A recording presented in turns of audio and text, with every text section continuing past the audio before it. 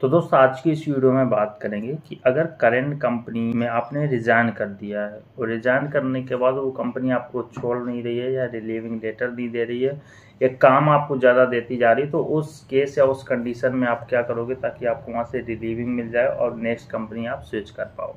तो दोस्तों, मैं बता दूँ, आप जब किसी कंपनी में काम कर रहे होते हो तो आपको एक साल, दो साल, चार साल, पाँच साल आपको वहाँ पे हो जाते हैं तो हो सकता है आप उस काम से बोर हो गए हो हो सकता है आपको वो सैलरी सफिशियंट नहीं लग रही हो या हो सकता है आपको एक बेटर अपॉर्चुनिटी मिल रही है जो करंट प्रोफ़ाइल में आप हम कर रहे हो। तो उस केस में क्या करते हैं अपन लोग कि चलो जॉब को स्विच करते हैं। जॉब स्विच करिए आपने इंटरव्यू दिया, आपको जॉब मिली। इसके बाद क्या होता है कि आप वहाँ पे रिजाइन डालते हो उस करंट कंपनी में।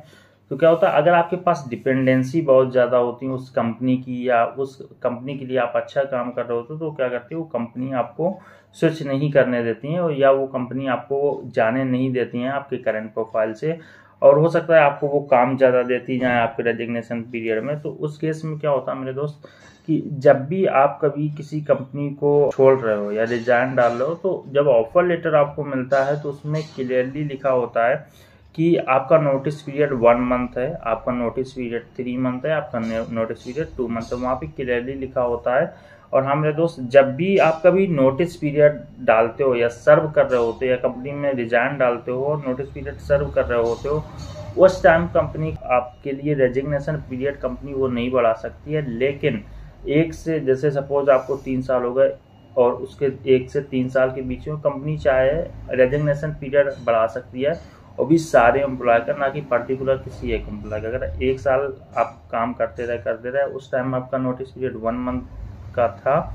अगर कंपनी में कुछ अपग्रेडेशन होता है, कुछ पॉलिसी में चेंजेस होते हैं तो आपका नोटिस पीरियड एक महीने से तीन महीने कर सकते हैं, एक महीने से वो दो महीने भी कर सकते हैं। लेकिन आपने जब रिजाइन डाल दिया है, उसके बाद वो कंपनी नोटिस पीरियड आपका नहीं बढ़ा सकती है और उस टाइम वो बढ़ाते भी नहीं जो आपका लीगल होता है, वो उतने ही सर्व करने के लिए बोलते हैं।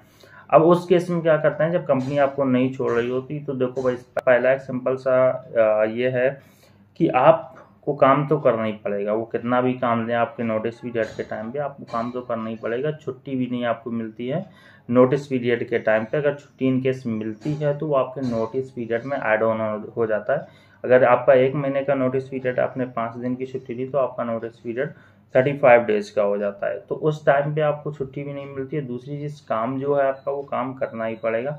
एंड दोस्तों, जो तीसरी चीज़ अगर कंपनी नोटिस पीरियड के ऊपर काम कराती है तो आप कंपनी को किसी भी टाइम पे नोटिस पीरियड सर्व होने के बाद छोड़ सकते हो।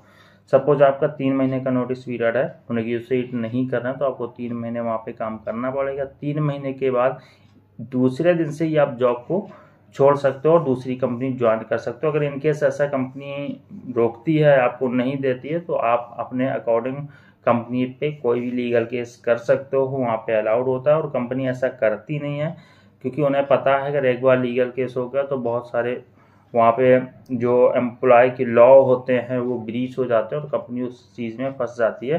तो जितना नोटिस पीरियड है, आपको सर्व करना पड़ेगा। सर्व करने के बाद आप कंपनी को छोड़ सकते हो नेक्स्ट कंपनी को वो चीज़ बता भी सकते हो, दिखा भी सकते हो कि मेरी कंपनी अभी मुझे रोकने की कोशिश कर रही जबकि उसका नोटिस पीरियड इतना है इतना है तो जो नेक्स्ट कंपनी है, वो भी आपकी इस चीज़ में हेल्प करेगी। लेकिन आपको काम वगैरह तो करना ही पड़ेगा, अगर कितना भी वहाँ पे काम दे रहे हैं, वो कंपनी पे डिपेंड करता है। तो बस आज की वीडियो में इतना ही। वीडियो अगर अच्छा लगा तो लाइक शेयर चैनल सब्सक्राइब ज़रूर करें। मेरा नाम है शुभम। मैं मिलता अपने नेक्स्ट वीडियो में। Till have a great moment and don't forget to like share subscribe thank you so much for coming here